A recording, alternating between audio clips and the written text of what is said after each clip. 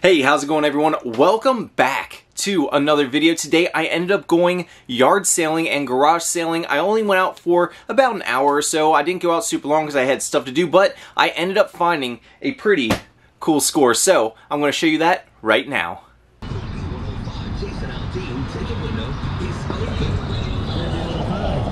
How's it going? What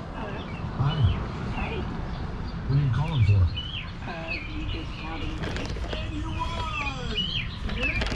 Caller number 10, you're at work. Don't get too excited. I don't want the boss to know. Where do you work at? What's your name?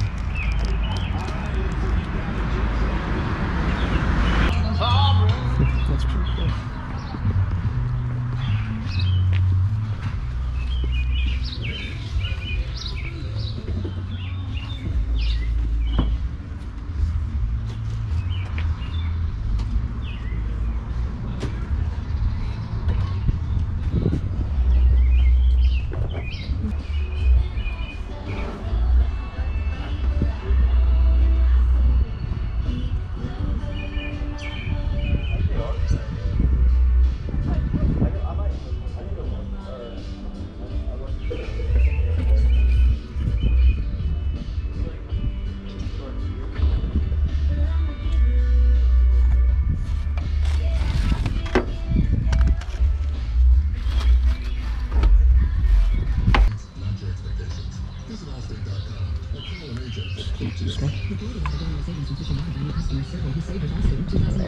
Got this stuff right here. It's called five bucks. That works for me. It's cool. Ready, set, resell. Yep. I'll watch you, buddy. Do you? Yeah. Eh, nice to meet you, brother. I'm Ben. Too, man. I I've come. I think I've bought stuff from you like three or four times Yep, now. yep. Yeah. Yeah, I always find something. I seen the posting. I was like, I'll swing by, you know, just in case you got Yeah. some new stuff. I got Um, some old vintage clothes back there in, in a tote that I didn't Say put. five. Yeah, that I didn't put out. If you want to take a look at them, I got an old, very, it's really old Notre Dame jacket. yeah, I'd be totally down. grab it for Yeah. You real quick. I had to work a little bit on the price for that. It's missing the battery and I believe a charger. Did you have that posted on the marketplace? I did. Okay, I look. I think I looked at the listing. I was like, I swear, I just looked at this like the other day. I've had so many people message me about it, but they want to lowball me on it. And uh, even as a parts camera, they're selling for hundred dollars. Yeah, I, I looked it up. I was like, it's not a bad price if you're looking No. for for yourself. So, oh yeah, this is cool. What were you wanting on the clothes? Um, I don't know. I usually got an auction block that I take stuff like that to. Yeah. Um, Oh, that one's you can look at them all, and we'll go. There's some good stuff down in there. I've been saving that stuff for a while. Every time I find something old and neat, I just throw it in the tote. and put it in the Okay, cool. Yeah, we'll see if we can't do something on it. Iron Maiden, heck yeah. I've been waiting for the right person. I seen you come up and like, I yep, I, I like my clothing. And it's weird because I didn't even start out like knowing much about clothing at all. I just kind of learned it because there's so much of it around. Oh, yeah.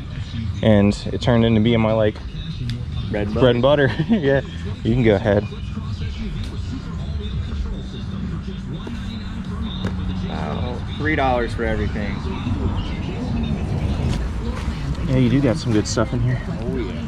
and the features that set them apart. This is the guy who gave my I've been hoarding it for a while. Time to let it go.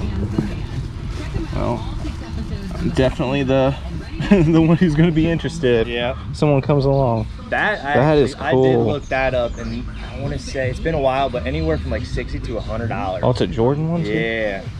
That one's cool. I'll totally throw that one on there. So do you do uh do you do uh storage units? I do. Okay, that, that's kind of the vibe I got. Yep. I've uh, tried to start eBay stuff, Oh, but it's just not for me. I'd rather sell. It's a lot somebody- keeping up with it and everything. then you got to manage with shipping and Oh, yeah. fees and if you're not on top of your books, it can Oh yeah, I'd imagine. eat you, man. Yeah, you got some cool stuff in here. What would you want on just the whole tote so I don't have to Make go me through an it? offer on it, man. Something where you can make money and I can make mine. What's something that you're thinking? I couldn't find nothing on those jackets. I know they're, Yeah. they're the Notre Dame ones. I know they're really old. Yeah, they look. I'm, I'm gonna guess probably 70s on them. Yeah. Um, I don't want to lowball you on it since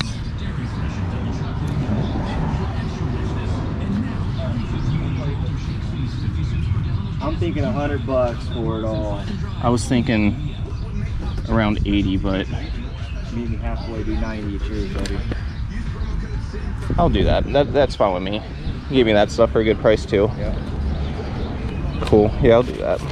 20. Yeah, you have these sales pretty often too, so you'll, you'll definitely see me out more. Yeah, I, I started going down to uh, peddlers.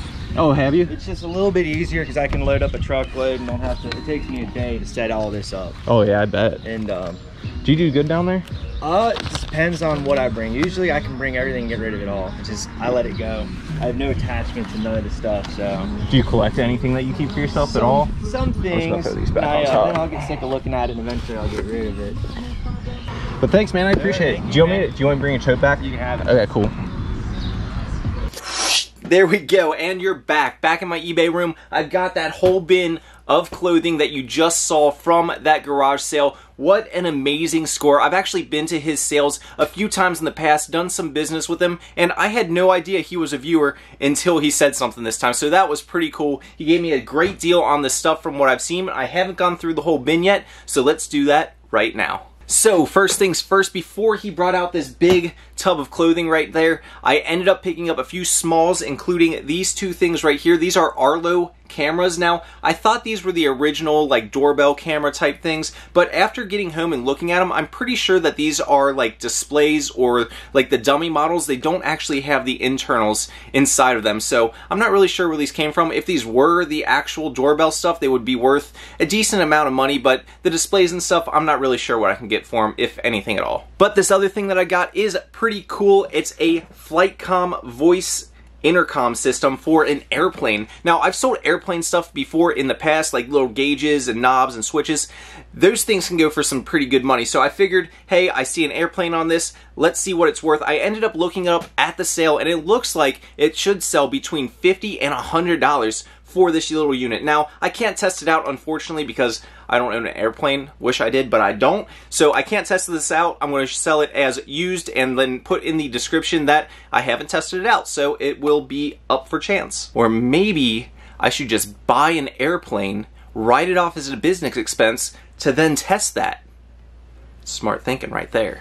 And now for the exciting part this whole bin of clothing. And there is some vintage stuff in here that I'm pretty excited about. In that bin of clothing, there were a couple hats right here. There are some vintage ones and some pretty cool ones, so let's go through those. The first hat here is a vintage Cincinnati Bengals starter hat, and it is clean. This thing, I'm guessing, will probably go for somewhere around 25 bucks. Vintage starter hats usually do pretty good, and that's typically the range I can get for them. Maybe a little more if this is more of a rare one. Then we got an old NASCAR hat. This is a Valvoline one. Probably not too much value there, but still a pretty clean hat. Then we got a vintage Chicago Cubs snapback trucker cap. Pretty clean, probably not a ton of value in that. I could be wrong. I'm not super familiar with Cubs stuff and how their vintage stuff is doing. By the way, when I'm saying vintage, it means anything that is over 20 years. So at this point, anything that is like year 2000 and before is considered vintage. But there's probably not a ton of value there. Still probably will sell. I'm going to guess probably between 15 and 20 bucks on that if I had to guess. Here's another pretty cool one. This is a vintage Cincinnati Reds hat. You guys know I'm from Cincinnati, so I love seeing this kind of stuff. And this is in a nice pinstripe pattern. It still has the cardboard on the inside of the flat right there. So that is pretty crispy. I think the pinstripes was Big Red Machine era. I could be wrong, but I think this one is probably early 1990s. And then my favorite hat, Domino's Pizza. Hey, welcome to Domino's. This is Mo. What do you want? I said Mo because on the inside of the hat, someone wrote Mo right there. So I like to imagine Mo had this hat before me, but now it's mine. All right, now we got a few t-shirts to go through. The first shirt here is a pretty cool one. Pink Floyd, and on the back you can see it says the 1989 tour, but I believe this is a reprint based on the tag, yeah. So on the tag it actually says uh, year 2000 right there, so it is a reprint. However, it still should have at least a little bit of value. It is a 2009 shirt, so there's at least a little bit of age to it, and Pink Floyd's a big band, so I'm sure that'll sell for something. Then we've got Dale Earnhardt, the Intimidator. That's a cool NASCAR shirt. Anything Dale Earnhardt is going to have some value behind it. That's not like the craziest pattern out there. That's a pretty typical one for a NASCAR shirt. But NASCAR stuff does have a collectible following, so that would sell pretty easily, I think. This one here is pretty basic. It's just a Harley Davidson shirt from Cincinnati, Ohio. Probably not a ton of value there. Maybe 15 bucks. Um, some Harley stuff is valuable, but stuff that is like centered around a specific place like Cincinnati or a specific dealership within the city usually tend to go for less money but since this one just says Cincinnati it might be able to sell for like 15 or so. Here we have a Pittsburgh Steelers Super Bowl shirt. It is from 2006 and it's in that cool tie-dye colorway. Somebody will want that for sure. I could definitely see a Steelers fan buying that because it does have that nice like fading to it. It's just it's just a cool shirt, even if it is Pittsburgh. Here's one that's pretty cool just based on the graphic by itself. It's a Hobby Surf Federation, and I really do like that graphic, and it's like that puffy paint stuff that they used to print with. Pretty cool shirt. Front's pretty basic, but that back graphic is pretty sweet. Okay, I think this one might be the best shirt out of all of them, the best t-shirt out of all of them. This is a Pantera tee, and it says Cowboys from Hell on the front. That's a pretty cool one. I am fairly certain that this one is vintage. It does have a few little small holes right there in the front, if you can see, and some minor discoloration. However, I still think that'll hold a pretty decent value. I'm to guess probably at least at least 40 bucks on that. It was probably worth more, but I think that's a pretty cool one. All right, here's another local shirt. It's a Cincinnati Cyclone shirt, and on the front you can see it says MasterCard right there. So it was probably something they gave out as like a promotion at one of the games or something. Probably not a ton of value there, but still cool. All right, here's another cool one. Dale Earnhardt. And this one is front and back shirt. And that's kind of what you want to see with like NASCAR shirts. You want to see the ones that are like crazy all over color prints or the ones that have graphics on both the front and back. That will help increase the value a little bit. This is a pretty large shirt. I think this one's like a 3XL, so that one might sit a little bit, but it'll still sell eventually. Pretty cool. And the last t-shirt here is a Iron Maiden Somewhere Back in Time shirt from 2008. Not a super old one, but again, that graphic is killer. That'll sell for sure. Don't know what it's worth, but I like that one. Then there was one sweatshirt in there. It is this Dale Earnhardt Intimidator shirt. Probably not a ton of value behind this one, and it does weigh a decent amount, so it's probably going to need to be shipped in like a padded flat rate. But that one is still cool to see. It is a vintage one, so we'll see. All right, let's get into some of the jackets. This one right here is a Nike Windbreaker. Nike Windbreaker's general rule of thumb is they'll go for at least 20 bucks. This one's got some nice color blocking on it, and it is vented right there in the back. This one's probably closer to 30 plus. Okay, these jackets right here, these like official racing style ones, some of these can be worth some pretty good money and then some other ones can be worth like 20 bucks. So I'm really going to have to look this one up and find this exact one. It is on a chase tag right there and it's size large, but that is one I'll have to do more research on. I'm not super into this kind of style jacket, but I do know that some of them do have a following if it is from the specific driver of a specific year. I've sold like Jeff Gordon ones for some good money before, so we'll have to see on that one. These next two jackets are pretty cool, and he pointed these ones out specifically because he tried to research them but couldn't find anything on them. These are two vintage Notre Dame jackets, Notre Dame jackets, the Fighting Irish. See, it is a patch embroidery right there on the back. Big embroidered spell out on the front. On this one, I'm guessing just based on the style of these, this is probably a 1970s jacket if I had to guess pretty cool. I'm going to have to do more research on this. I posted this on my Instagram, and I already had like four people message me about buying it, so I'll probably end up throwing this up on the shop if anybody's interested. The size tags are worn off on both of these, but they seem to be about size large because they fit me. Ugh. Ah, there we go. See, fits me pretty, pretty snugly. And then the other one is pretty similar to the first one. This one does not have the spell out on the front right here, but it does have the huge Notre Dame spell out right there on the back. Again, I'm going to date it to probably around the same era as this one and put it right around 1970s. Pretty cool jackets, just based on some of the other satin jackets I've sold in the past. I'm going to guess between 50 and 100 bucks on these. And then we've got one more jacket here. This is a denim jacket, but on the back, this is the first thing I saw that Mickey, oh my god, the world of Mickey Mouse, huge logo graphic on the back. That's a pretty cool one right there. It's on the Mickey & Co. tag, if you can see that right there, if this will focus. There you go. Mickey & Co. denim jacket. I have no clue what this one's going to worth. I'm going to guess probably around 50 bucks on the guy, but that is super cool. I love that one.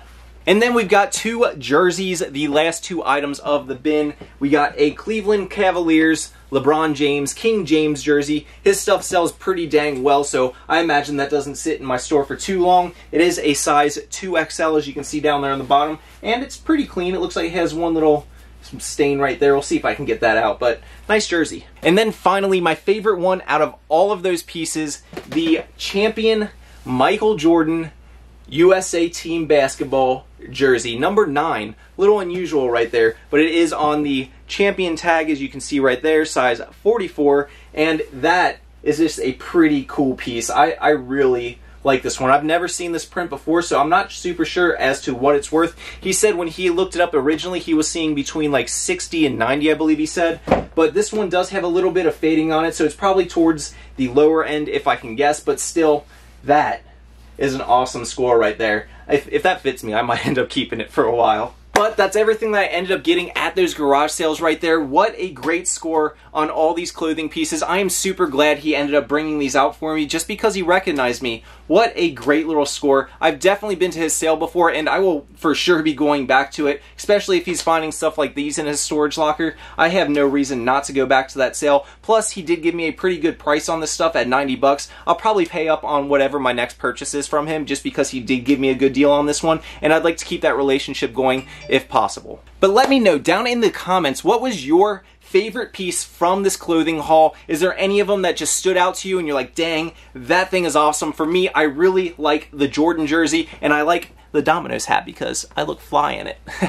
And if you did end up liking this video, please take a second, hit that like button. It really does help me out and subscribe to my channel for more content like this. It'll keep you up to date whenever I launch a new video. Otherwise, thank you guys all for watching. I hope you enjoyed and until next time, keep on treasure hunting. Peace.